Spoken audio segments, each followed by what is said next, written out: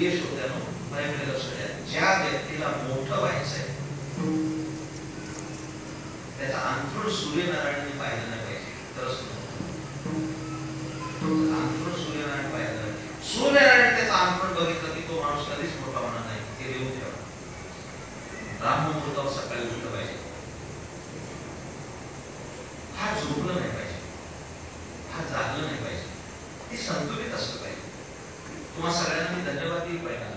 es real.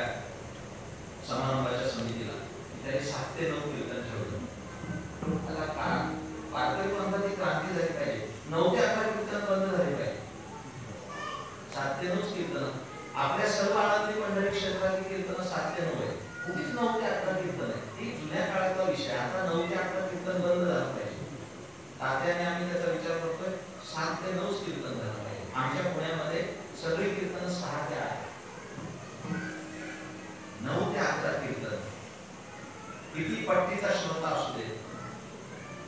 साडे दहा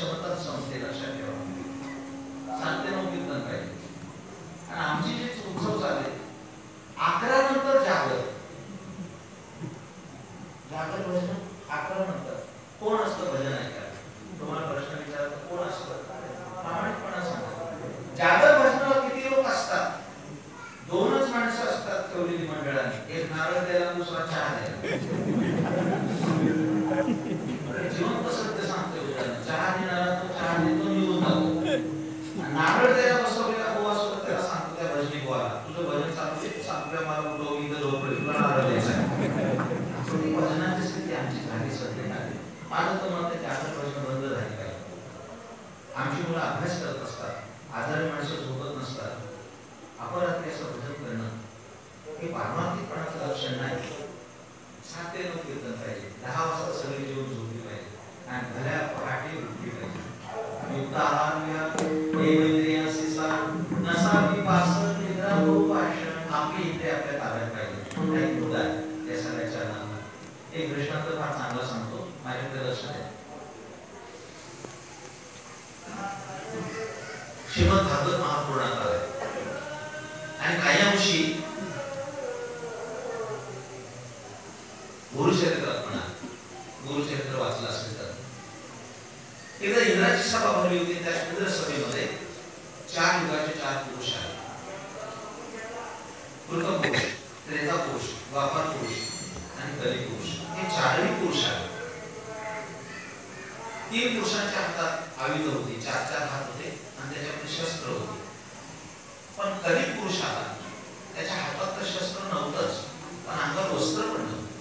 네.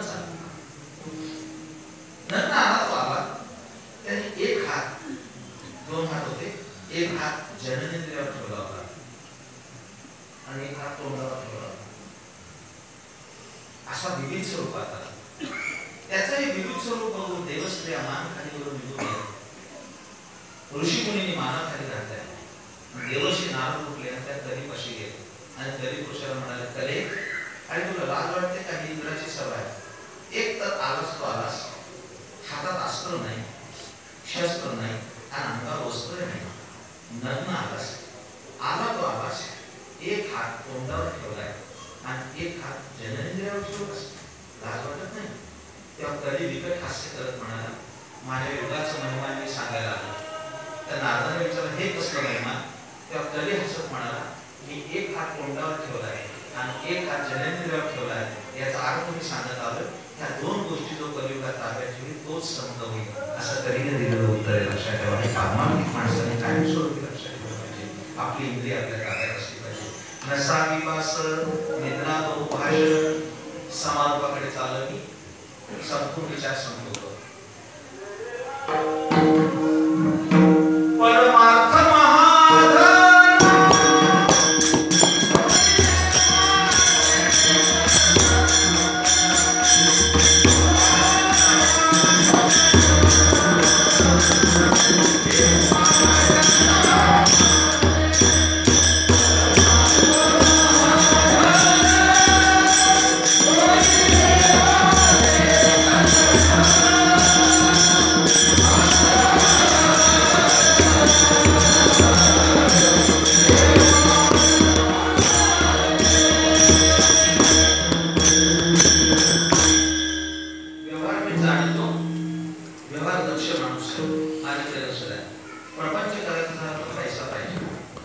सगळ्या तरुणांना लक्षात ठेवा अफलक माणसाला शून्य किंमत अफलक माणसाला समाजात स्थान नाही. पैसा